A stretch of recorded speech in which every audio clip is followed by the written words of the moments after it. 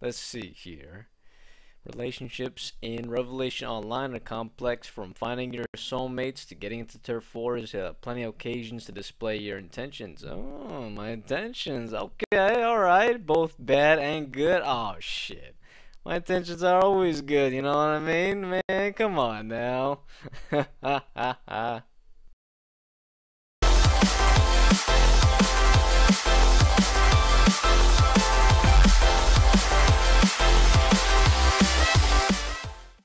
What's going on guys? This is the One Man Army, Mr. Easy for Life. Welcome back to another Revelation Online discussion video. I got another topic for you guys that I wanted to discuss. And uh, we're going to go ahead and get started with this right now. I'm on their website here, man. I'm doing a little bit of research and I was, uh, I came across a topic that really piqued my interest. I wanted to go ahead and do a little bit of discussion with you guys. Uh, so let's go ahead and check this out. Okay, so I'm going to do a little bit of reading here. It says uh, some gear class restrictions and basically uh, this is just telling you what, what kind of gear that uh, the classes wear as well as the weapons that they wear. So it goes on to say that uh, Spirit Shapers uh, wear... Uh, oh wait, Sword Mages and Spirit Shapers wear cloth and Gunslingers and occultists wear uh, some leather armor as well as vanguards and blade masters wear plate armor right? So it's, it's just telling you that uh, the different kinds of armors that you're going to be finding and the uh, what classes uh, wear what.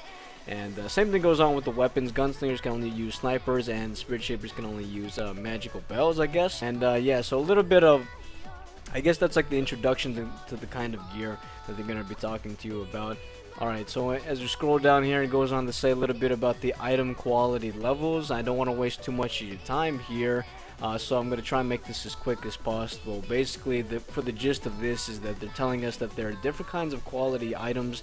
We got your gray, your, your, your green, your blue, your violet, and your gold. Uh, you know, green being the item quality that is like common or whatever you see all the time by killing monsters. Uh, open world open world bosses, or no, not open world bosses, like killing monsters in the open world, sorry, uh, and doing some dungeons or whatnot. Your blues, however, you're going to be getting that through completing certain quests, and your purples, which is your epics, are pretty much an item that's uh, that you can earn by doing dungeons or raids or killing uh, world bosses, right?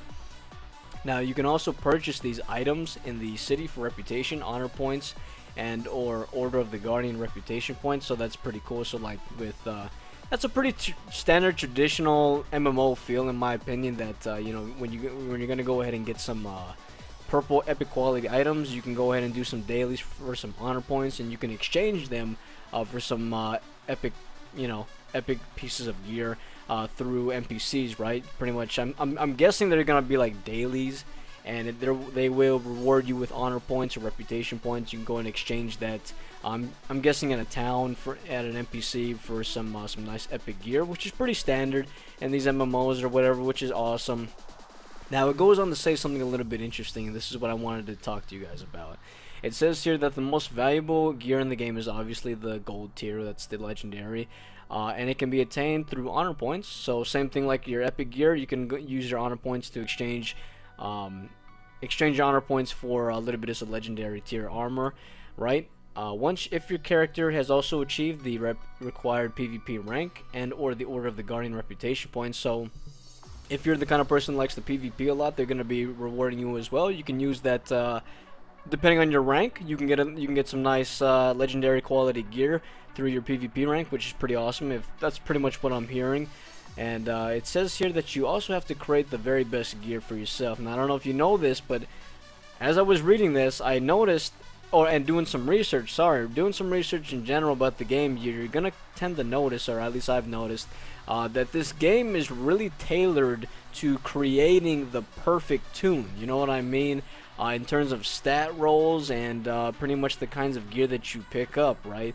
So they're pretty much saying this that you have to create the best gear for yourself, right? And you can obtain your first set of armor at level 37. Now, they didn't say this, but I'm assuming that you could actually obtain your first set of legendary quality gear at level 37. Now, I do believe that the level cap is, I want to say 70? I don't know. That's that's this thing I don't know yet. You guys got to let me know uh, what the end game uh, level cap is as of right now in China. Because every time I watch a video, a Revelation video, they're always like level 70 or whatever when they're doing the race. So that's just what I assume is level 70. But they're saying here that once you get to level 37, you can actually get a set of legendary uh, quality gear, which is awesome, right? So after completing a special main storyline quest or collecting some or buying resources on the auction house, probably, uh, you can actually create higher stats than. Uh, oh wait, the items that are created, which is I'm guessing like your crafted gear or whatever, uh, they have higher stats than regular golden items. So they there's where there's this is what I'm pretty much saying here. It says regular golden.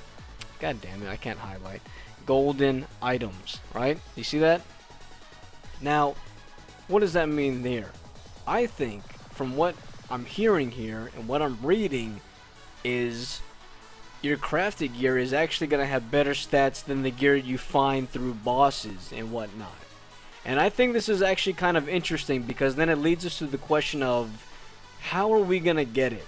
Okay, now it says that it's going to be craftable, meaning that will we have to pick a profession that's going to lead us to crafting our legendary tier quality?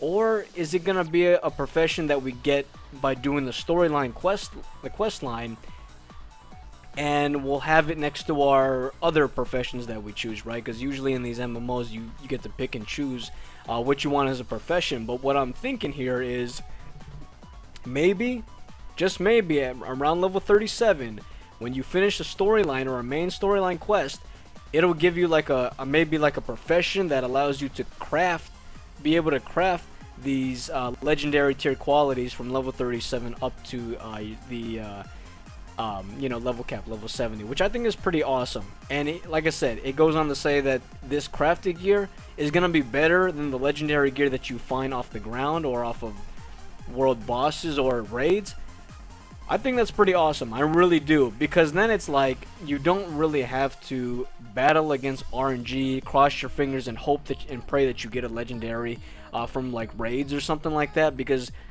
technically speaking, from what I'm hearing, you could actually just craft it and it'll be like the best gear in the game because that's what it's pretty much what it's saying. Um, so I think that makes that's gonna make a lot of people happy there uh, because it's like depending on how much you put your effort into this game will depend on how much your gear is. You're not gonna be battling out battling it out too much in terms of RNG drops or something like that when you can just make it, which is pretty cool. Um, it goes on to say that the gold items created is the most powerful in the game, right? Of course and improving them provides more opportunities to perfect them okay? And what they mean by opportunities is that it goes on to say that the items that you obtain through the raids the end game raids are going to be used as resources uh, for your legendary tier gear that you crafted in order to perfect them. As you can see we got a picture down here and I'm guessing if we can go ahead and load this up here I don't know if you can see that. Maybe I can zoom in. Uh, I think that's the biggest I can make it um, that you can actually see that there's a bit of a legendary there's a legendary chest piece I'm assuming right here surrounded with a upgrade table. I'm pretty sure that's what the upgrade table looks like. And uh, you got some epic quality purple gear right here. Maybe these are resources or gear in general. And then you got these other re legendary resources that you're probably going to be collecting through various different ways. Uh, then you're going to combine it all together to, you know, pretty much upgrade your crafted legendary gear to perfect it, like it was saying. So that's pretty cool. I think that's, that's I think that's pretty fucking awesome, to be honest with you. It's something that I haven't actually seen uh, in an MMO before, saying that the gear that you make will be the best gear in the game. It's usually the opposite. The gear that you find will be the best gear in the game, and I think this is something that's a little bit more innovative. I think it's something that will make a lot of people more happy, like I said, because depending on how much effort you put into upgrading your gear will depend on how good of a character your toon is I guess you could say. It goes on to say uh, a little bit about the item stats, and this is pretty much relating to the picture that we have up here. It says here that um, pretty much characters have basic stats, right? You get your strength, your stamina, your energy, your agility, and your intellect with uh, 33 secondary parameters. For example, the chances to inflict critical damage or the chances to dodge enemy attacks, resistance to physical damage, and so forth. Gear can also provide bonuses. All right, so you got bonuses set set bonus stats, which is pretty cool to any stats and parameters selected and well-directed gear improvement along with the opportunity to change secondary parameters will ensure you that you can fine-tune your character. So I'm guessing you can probably like re-roll it or something like that. Maybe re-roll your stats. I don't know. See, this is information that's new to me. You guys got to let me know. If those of you actually played the game, I know what gearing is like. Go ahead and let us know in the comment section below, man. Share your knowledge with the people, man. Um, but this is just an ability to fine-tune your character in terms of stats, right? It says that Revelation Online offers the flexibility in that the resources needed to boost your gear can also be obtained in different ways. So I guess that's, like I said, with the the mats up here, you know, this looks like raid gear, but I'm thinking with these other resources right here, it says that it's going to be obtained through maybe dungeons, open world, uh, through completing quests, or even buying it with reputation or your currency, which is pretty cool right? So I'm guessing as long as you just play the game, you're going to be able to have an ability to buy resources to upgrade your crafted gear, which is great. So there's going to be many different ways that you can pretty much revamp your stats in terms of when you upgrade your uh, your legendary crafted gear. Now it goes on to also say that random stats for your created items. So I'm guessing that every time you craft a gear piece, uh, including legendary, I'm thinking that it's going to be at random stats, the rolls that you get. Um, your gear will reveal uh, several or receive several stats, blue stats, and fixed green random stats. Um, so the fixed, fixed green random stats can offer from like you can have from one to three random green stats, and the size of the bonus is determined at random. Okay, so this is like the whole MMO RNG traditional. You know, battling it out with RNG in terms of your gear, I guess. You know, I guess that's the one thing. It's like it's one thing to create your gear, but it's another thing to fine tune your stats uh, when you do this. Now it says here that you can also spend resources in order to change your green item stats um, in a limited amount of time. So as long as you get the resources, you can keep re-rolling your stats, right? And it says here that once you do that, all the previous indicators, including the blue stats, will also be reset. So once you re-roll your stats, you will be pretty much getting a brand new set of stats on that piece of gear that you crafted, which is also pretty cool. Like I said, it's the whole notion of you gotta battle it out with RNG sometime, and you know, and it's like like I said, it's one thing to create the gear, but it's another thing to actually get the stats that you want. And I think that's another another reason why people go into raids uh, multiple times after they get the gear. Maybe they're not satisfied with the stats that they have, so they have to go back in there and re-roll it. Now with this game, it seems as though that it gives us another reason to go back into the raids because it's like if you want to create a better set of legendary gear, you have to go back into the raids and uh, pretty much collect the endgame raid gear or items or whatever and use it as resources. You know, I think that's pretty amazing. I really do think that's pretty innovative in a certain way that you know, the whole reason why people go into raids is to basically get the the raid gear or get the end game gear and then that's pretty much it that's the end of their journey they're satisfied once they have the, the correct rolls with it uh, they could pretty much stop I guess but with this game it's like you're gonna be able to have a full set of legendary gear. That's what it's saying here. I mean that's what I'm hearing. I could be wrong. By the time you reach the end game cap if you craft them right? But you also need to go into the raid. It gives this like I said it gives you another reason to go into the raids because you need those raid tier pieces as resources in order to improve and fine-tune your crafted gear. Um, you know, why I think this is so amazing is because, I mean, I've never actually seen an MMO where the crafted gear is better than the, the gear that you find off the off bosses or off uh, reputation exchanges or something like that, or uh, just as a reward in general. You know what I mean? And like I said, I think this is going to create a lot of happiness for people, or uh, make a lot of people happy in the community because it's like you don't have to cross your fingers in hopes for a legendary uh, in the raid when you could just craft it and it will be it'll be end up being better than the legendary gear that will probably drop uh, in the raids themselves. So yeah, you know, like I said, I mean, I'm not saying that the raid gear is actually bad you could actually probably use them as placeholders until you craft your legendary piece for that slot and then you you know you could pretty much use uh, that that placeholder as resources as well. You know because I'm guessing that the raid gear is going to be pretty damn good but I guess this is just a way for them to say that uh, if you want the best gear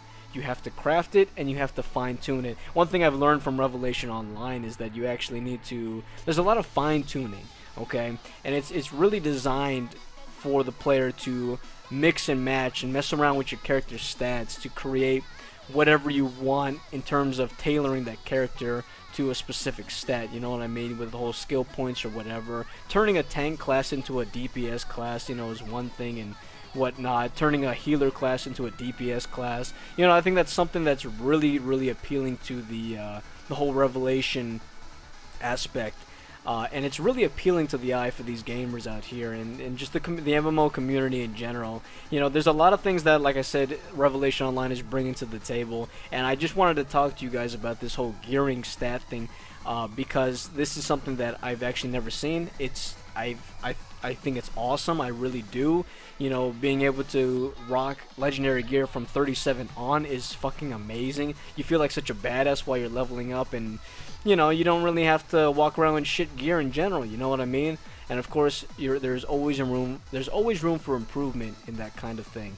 And uh, I just, I, I really appreciate that. I really do appreciate the fact that they've made something like this. You know, because now I could go into Revelation thinking that, well, great, it's gonna take an eternity just to get one legendary. When I could, just by playing the game in general, be able to craft it at such an early level uh, through questing and whatnot, and just saving up my resources and just playing the game in general will get you a nice set of legendary gear. Now, I could be wrong about this. I really could be wrong about this, but from what I'm reading, I, I'm thinking this is how it's going to turn out. And whether or not you think it's a grind fest, I think it's something that's fucking amazing. You know what I mean? And, you know, to end us all off in conclusion, I want to hear what you guys have to say about this. You know, I really do. Is this something that you've always wanted? Is this something that's pretty creative? Is this something that's innovative? Do you think this is awesome that uh, the crafted gear is going to be better than the gear that drops off of bosses and whatnot? Do you like the fact that you're going to be able to fine-toon your item stats and re-roll them as many times as you want to get that perfect tune? Let me know your thoughts and opinions in the comment section below, guys. I can't wait to hear what you have to say uh, about this whole gearing system in general. I think it's awesome. Uh, like I said, I've never seen a game, an MMO, where the crafted gear out, out item levels the uh, the raid gear or even uses raid gear as resources in general. Like I said, usually when you get the raid gear, that's the end of the journey for the most part, right? But uh, yeah, guys, thank you so much for watching. That's pretty much all I have for you guys today. Uh, stay tuned for more Revelation Online content to come your way. CBT comes out this month. And uh, we got to get this hype going, man. I want to see all you guys on the same uh, the same server as me. I really do.